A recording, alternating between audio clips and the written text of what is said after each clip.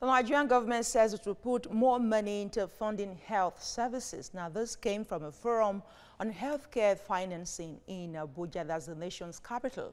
Lara Folayo tells us more. Nigeria's budgetary allocation to health in its 2019 budget is higher than that of the 2018 budget by 8%. Government says this justifies commitment to improving healthcare service delivery despite limited financial resources. Even with a reduction of 3.2% of the aggregate federal government expenditure from 9.12 trillion naira in the 2018 budget to 8.83 trillion naira in the 2019 budget proposal, which is before the National Assembly.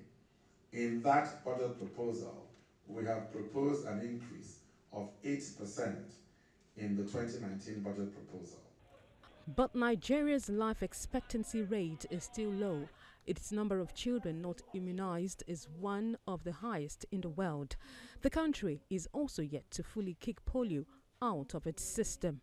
These and more are a concern to government. This dialogue now seeks ways Nigeria could get better value for money from healthcare financing. Notwithstanding the demands of other competing sectors, there has been increased federal allocations to health. However, and this is important, there is a need to ensure that these increased expenditures are actually improving healthcare outcomes. Pushing up revenue for higher health budgetary allocation is an issue here as well.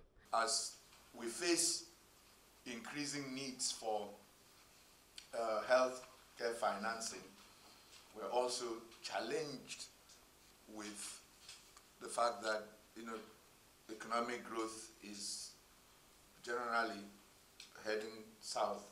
We are pushing for higher revenues in the of uh, Ministry of Finance. So when we say people should pay their taxes, they should understand uh, part of this objective is to resource, better resource uh, sectors like, like the health sector.